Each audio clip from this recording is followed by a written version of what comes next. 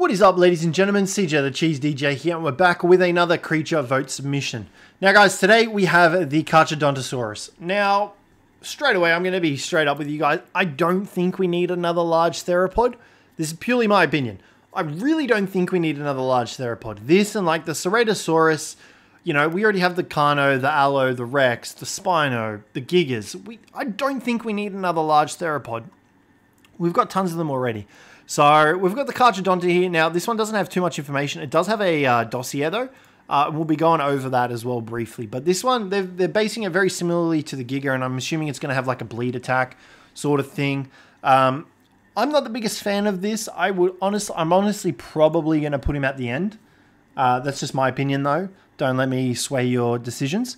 Um, but yeah, I'm of the mind that we don't really need any more large theropods. But nonetheless, let's go over his dossier. So we'll take a look here. Named for its sharp, jagged, shark-like teeth, the Carcharodontosaurus eviscera is a ferocious predator. Its jagged teeth allow it to easily bite through the flesh of its prey, effectively eviscerating it.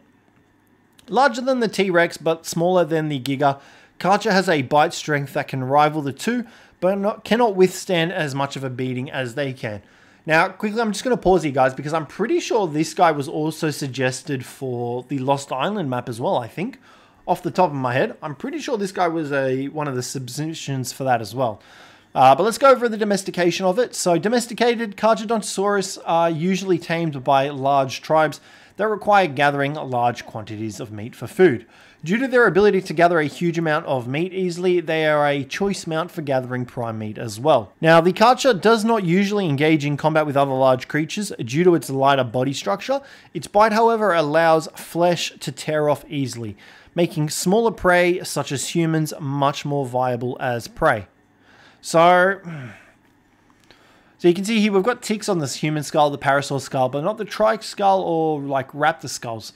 So obviously it's going to be focusing on like small herbivores and stuff like that. But I'm imagine it would get some kind of bleed attack as well if it were to get implemented. Um, purely based off Wildcard's design. Maybe even like a stampede attack where it can like uh, charge.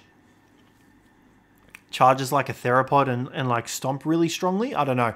But I'm not the biggest fan of the Carcharodontosaurus. The design of it is awesome. I actually really like this design it looks sick, the artwork of it. But yeah, I don't really see this being implemented too well into Ark, especially when we already have such large theropods already. Like, you know, we've got the Megalosaurus as well, the Allos, the Carnos. Like, I've already been over them. I don't think we need another large theropod in between the Rex and the Giga. But that's just my opinion. So that's going to wrap this one up today, guys. Hopefully you enjoyed this one. If you did, don't forget to leave a like. Subscribe down below for more, and I'll catch you in the next one.